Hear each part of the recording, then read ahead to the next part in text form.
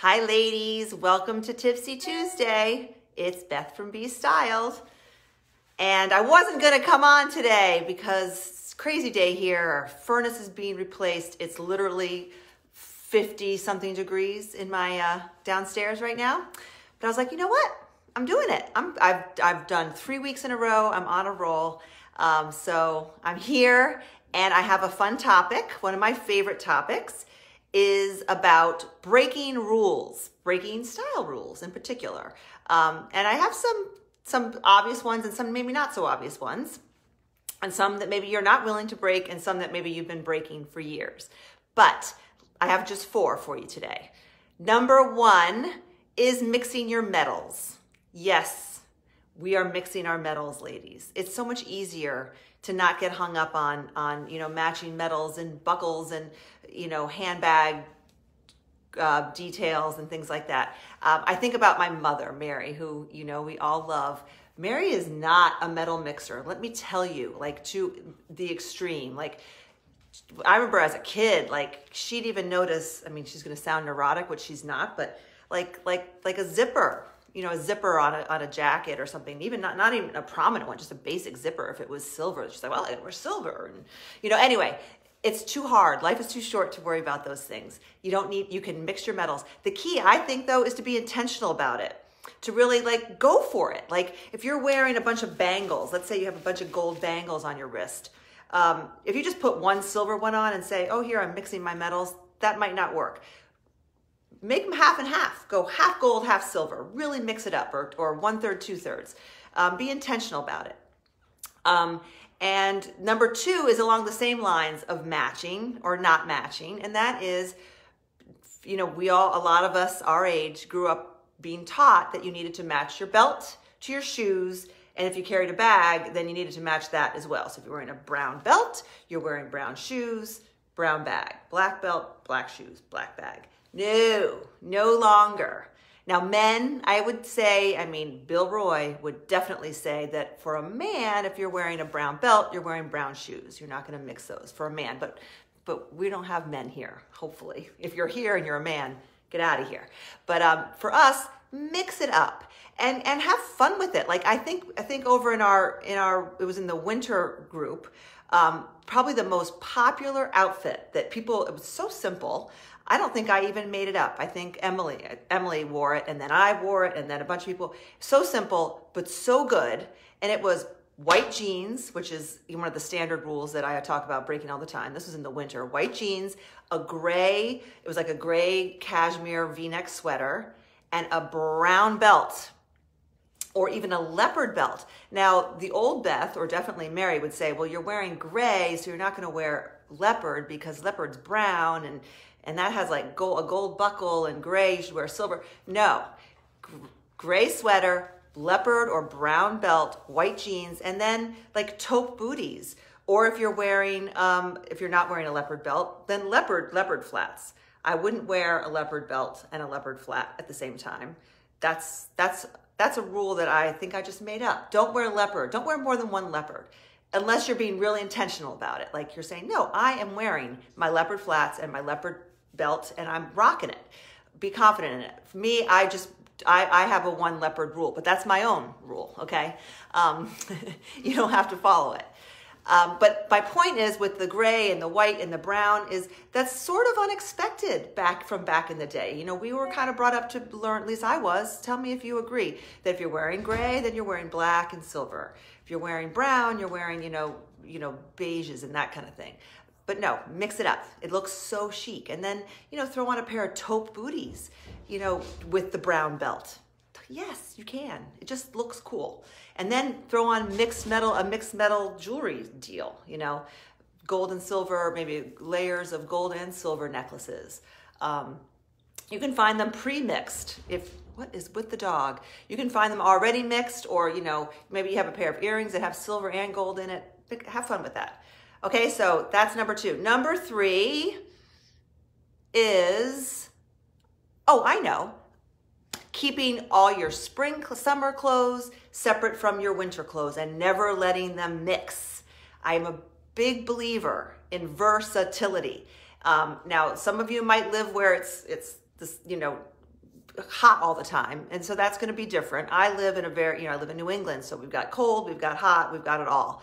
But I don't keep, I really try not to keep two separate wardrobes. I don't do a big switch out because I try not to buy very many things that are very um, seasoned season. I like seasonless. You'll hear me talk about something being a year-round seasonless item. I gravitate towards those because you get more use out of them, you know. Um, but but let there be some crossover. Like don't pigeonhole things and say, well, I don't wear that in the winter or I don't wear that in the summer unless it's, you know, your down jacket or, you know, a really woolly sweater, but like a cashmere sweater. Let's say you have a lavender cashmere sweater, which you might think of as being a very springy color, but it's cashmere. So you think, well, wear it, wear it in the spring and summer, especially in New England at nighttime. I would wear, you know, jean shorts or white shorts and a, and a lavender cashmere sweater. If I were to go to the beach or be outside, totally. Don't pack those things up. Keep them in your closet. Keep them, you know, so that you can wear them. You know, again, there are certain things that don't cross over. You know, your your sundresses that are really, you know, linen and you're not going to wear those in the winter. I'm not saying that. You got to be smart about it, but but try to to gravitate towards things that are are more seasonless in terms of dresses. I mean, there are a lot of dresses that I have that are, you know, a fabric that they're light enough to wear in the summer and and fine to wear in the winter with, you know, a jacket over it and tights and boots. So look for those kind of things. You just get more bang for your buck. Okay. But try not to pigeonhole seasons and, and clothes. Okay. And that goes for white jeans. Yes, you can wear white jeans all year round. We've talked about that a hundred times.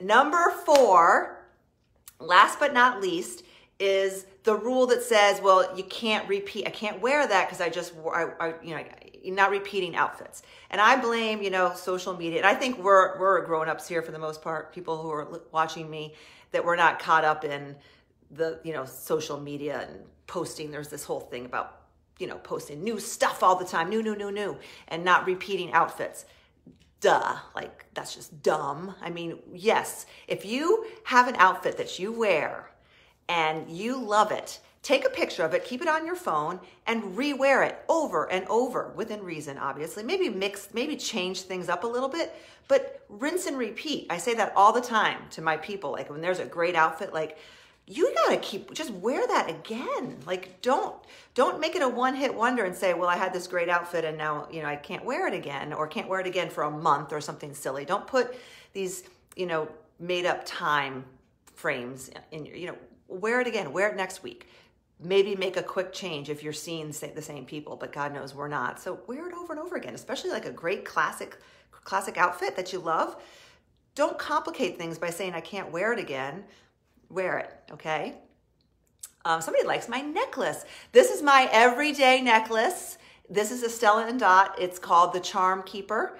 I wear it every day, pretty much. Sometimes I'll add a, because I found out I'm a good silver person. My color guru says I'm silver. So I'll wear this and I'll add, you know, a silver chain to it. But I, I wear this a lot just because I love it. It has a reversible little doohickey that has CZs on one side and plain on the other. I never know what I, I don't really think about what our, whether, what side is showing, but it's, it's versatile.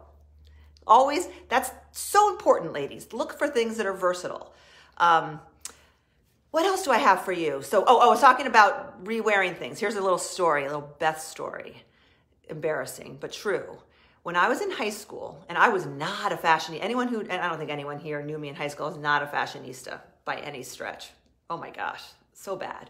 But I was probably a little neurotic or a little, you know, I was a teenage girl. So I was doing the, you know, teenage girl in my head, like worrying about stupid things kind of thing. And I had a calendar. Let me know if any of you did this. I had a calendar and I wrote down what I wore. I would write it down and I would make sure, okay, I wore the green set. Da, da, da. I can't wear that, wear that until I probably had, you know, I'm not a math person, but I probably had a, a, a formula in my head that said, well, I can't wear it on Tuesday because of this classes. I saw these people. Crazy town. But I did that, and I, I re clearly remember doing that. I also matched my socks to my top back back then.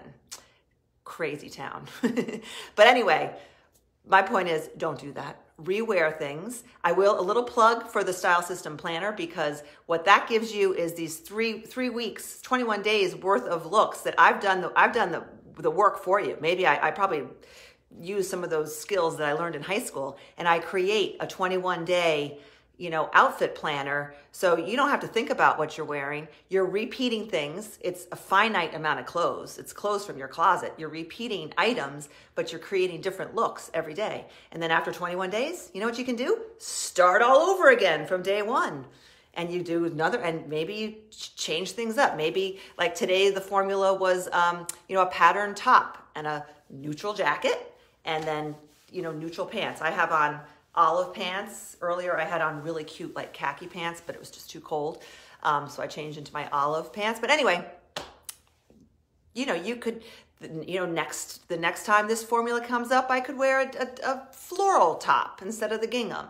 Um, I could wear a white jean jacket or a denim jean jacket.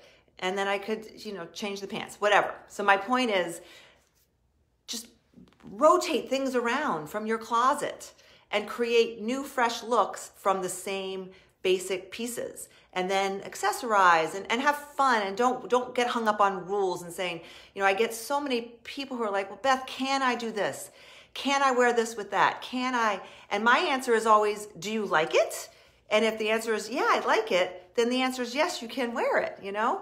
Um, there, there it's, i will say it's good to have some guidelines and rules because that just makes you feel more confident. You know, if you feel like you're you're following some sort of guidelines and and guide guidelines versus rules, which is what I try to do with my groups, then you're just going to feel more confident, especially if style doesn't come easily to you, which it doesn't to most of us. It, it really never did to me either. And I don't really consider myself stylish per se, but I think I've kind of figured out what works for me. And I've tried in my very overcomplicated brain to under to uncomplicate it by making by saying let's just take a step back and simplify things um, so that you're not buying so much stuff um, you know you don't get into the habit of seeing the the outfit on Instagram, the OOTD outfit of the day, the adorable blogger with her great outfit, and feeling like you have to copy it. Grab elements from it grab elements from your closet. It doesn't have to be exact. And I see women in my groups doing it all the time in such genius ways. Like, really, you know, there, there, a lot of us were wearing this, this gingham shirt. This is from Amazon, Amazon Goodthreads, which is a great, if, you know, a lot of people don't like Amazon. I'm not a huge fan. Sorry, Jeff Bezos, but um, I've found some great Amazon brands and Goodthreads is one of them. This is like J. Crew quality, hands down. It is great quality. Look, it, and it comes with a tie, so I'm not messing with the half tuck and all that. It just, for me, it's the right length. And, you know, I just like the gingham. It's, it's navy, but it's some, one navy I tried looked like black. This is like a real navy blue. Um, what was my point going on in the shirt? Anyway, oh, but some women are like, Beth, I'm not wearing a gingham shirt. I feel like I'm wearing a picnic blanket or a or a tablecloth, or I just feel like, you know, I'm on hee haw. so I'm like, don't force it if if just because I'm wearing a gingham shirt and some other people are wearing a gingham shirt, or you see the J. Crew catalog features a gingham gingham shirt, and I don't know if it does, but if you're like, oh, that's just not me, don't force it. Maybe you're more of a floral. Maybe you're more of a, of an animal print. Maybe, but don't don't force these looks to, in, a, in, a, in an attempt to um, copy them. I guess that's my number one rule: is don't force things, but have fun with things okay? Um, and let's see, how's sizing on the Amazon shirt? It is true to size. I'm wearing a small. I'll take off my favorite Ponte blazer, which you hear me talk about all the time. This is my peach Ponte blazer. Oh, the heat's finally coming back on. So it is, um, here's a small. You know, I am a small chested girl, but sometimes I get an extra small in shirts, not usually because I don't like things to be tight, but um, this is a small. And it's it's cute, you know? And, it, and Goodthreads is a good brand. Amazon Essentials, Goodthreads, Lark & Ro. Those are my three that come to mind as good, dependable Amazon brands. Some of them you, are hit or miss. You know, those are good. And I think what what Jeff Bezos has figured out how to do is he's basically just don't quote me, I don't know what I'm talking about, but I think he's, you know, he's going to these retailers, to these popular, very high quality retailers and just copying it. He is copying the material, the cut, the styles, and doing that. And it's sad because, it, but it is what it is. Um, I'm saying hello to all you wonderful people. Um, but I want, I wanted, okay, so those are the, those are the rules I'm saying to break. People always ask me about rules, like what rules should you not break? And I mentioned my whole one leopard.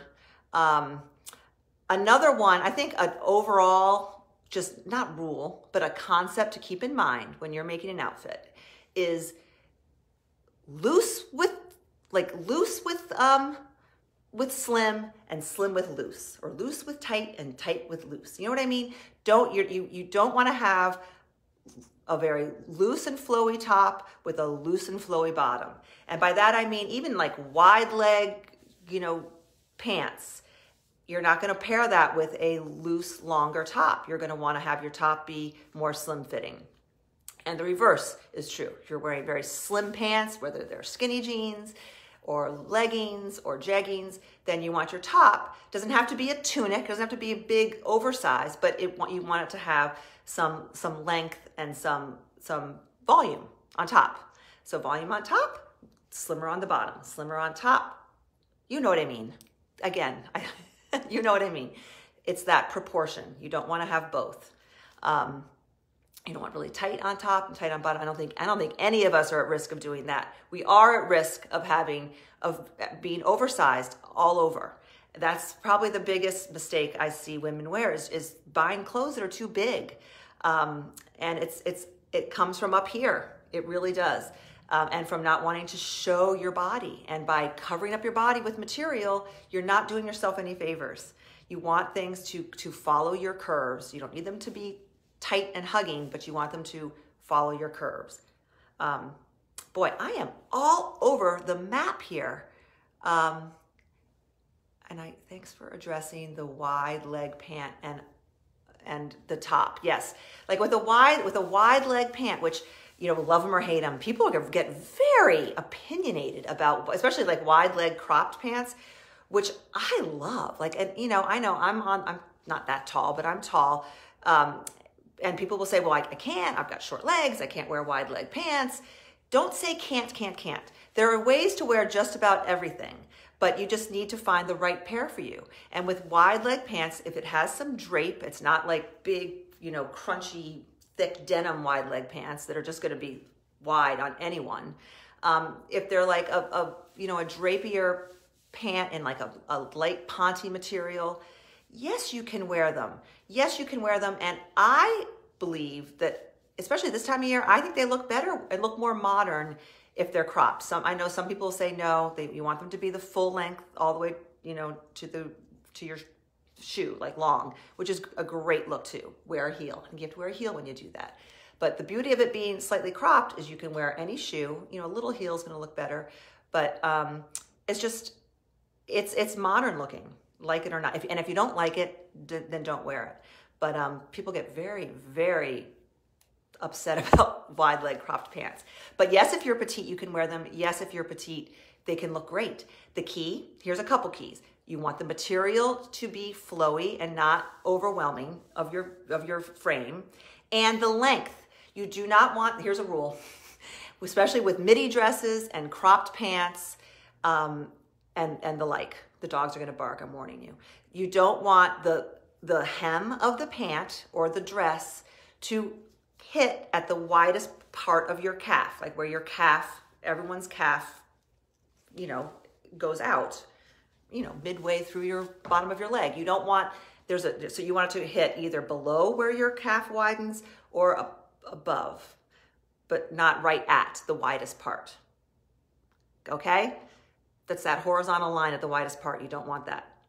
So a wide leg pant that hits a couple inches above your ankle, which is going to be the slimmest part of your calf, is fantastic. Pair it with a neutral shoe that's kind of the color of your your skin, especially if you're petite. That just uh, elongates. If you throw a black shoe on, it's gonna it's gonna shorten your legs. But a, a it could be a flat, it could be, especially if it's kind of slightly pointy toe and it's the color of your skin, it's gonna elongate. And if the pants have some movement and some drape, and then your top is you know, like this, like short, shorter. You know, this is a top that's gonna hit, that's hitting right at my waist. So, you know, I could wear this with, with wider bottoms, but I'm not gonna wear a tunic with, with the short cropped wide pants. That's just, that's just not gonna work.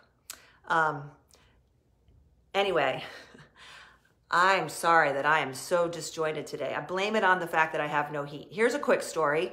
Went did a little workout this morning on the treadmill. Went to take a shower and turned on the water and it was ice. Like not just cold, it was ice, ice, ice, ice. Turns out in the process of working with the heater down here, they turned off the water heater. We had no cold, we had no hot water. So granted, needless to say, I did not take a shower.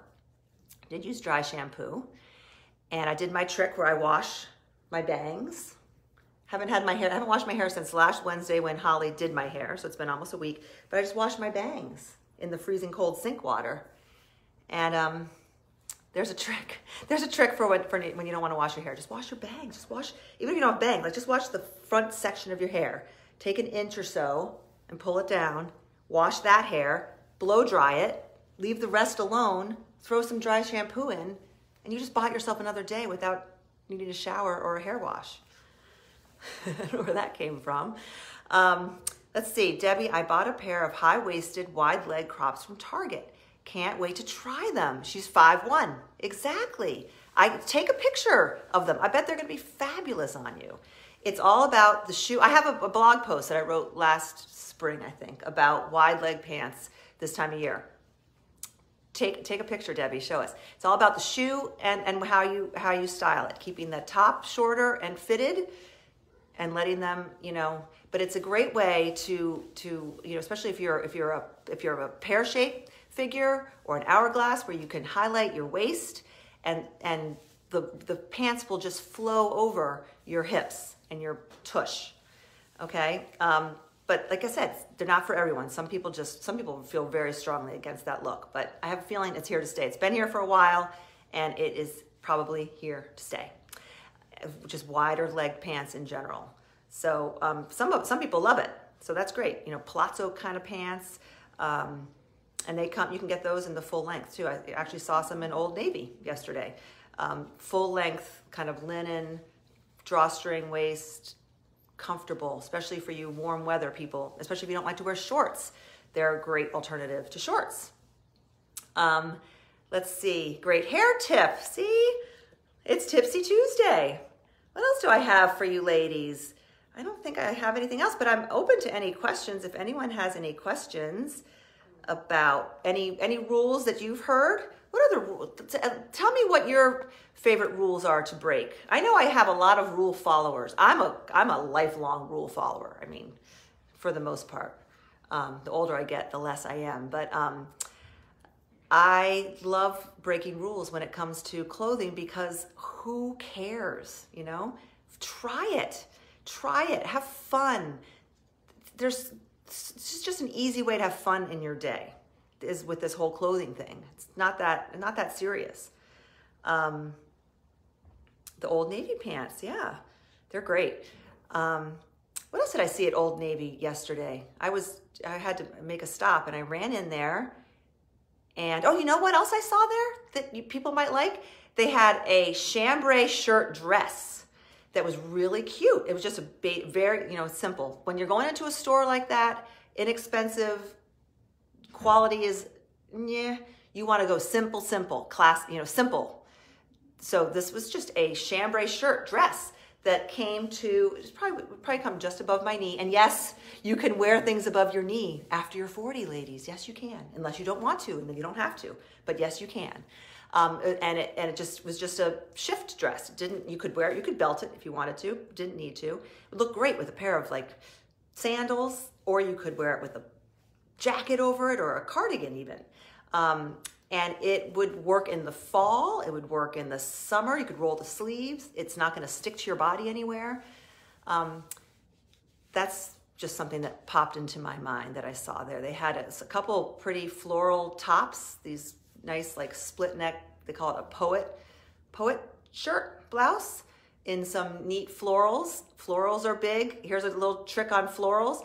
I feel like going with, you're going to see tighter florals, not big. You don't want big, big, colorful florals. Like by colorful, meaning like multiple different colors in a big floral. That, sorry, I think is aging. It's, it's aging. Whereas a smaller floral in one or two, the ones I'm thinking of, were like just all one sh- different shades of a pink. It was pinks and salmons with cream in like tight floral. Um, and then the same one came in like a white background with a little navy and black maybe. So subtle, but cool. Um, so that's a trick with florals is and with dresses too.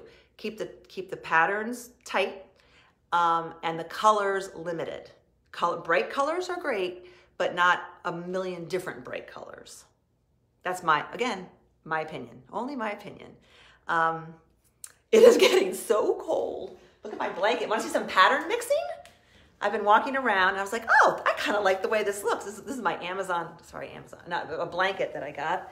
I think Cassie from Hi Sugarplum promotes, loves this blanket and it's a, it's a winner. But look, I was walking around this, I was like, oh, look, I've got gingham and leopard in my navy and I'm pattern mixing. ah, it's cold. It's getting, it's coming back on, but man, it's, in my house, it's probably 50, right now it's 50 degrees in my house.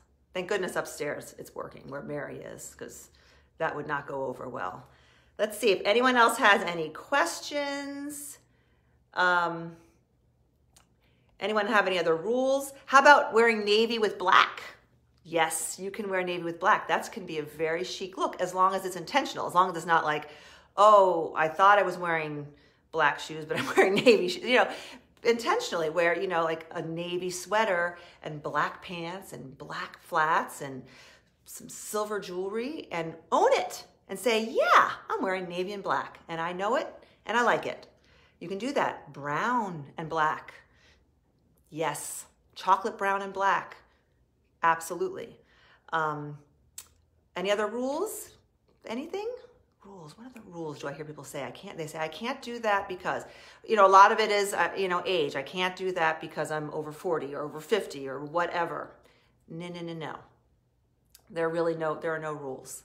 Good style has no age, right? And at the end of the day, if you like it, you wear it. That's my only rule. Okay? That's all I have for you today. Sorry for the rambling next week I'll be more prepared. Um, but I did it. I got dressed today in my sub-zero temperature house.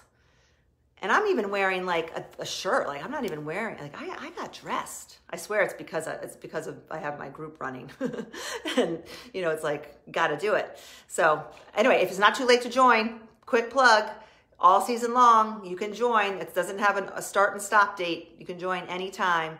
And if you're not into the groups thing, if you're not in, into posting, you don't even have to, you don't have to join the group if you don't want to. You definitely don't have to post. You can just take the planner, get your 21 days of outfits, put it on your phone, hang it in your closet, do whatever you want, and know what you're wearing every day from your closet, picking things from your closet and, and combining them easily. That's what it's all about. Okay? So thanks for joining. Have a great day. I got dressed. You get dressed. If you haven't already, it's time. Go do it. Put on something cute. Put on something that makes you feel good. And have a great day. Bye for now.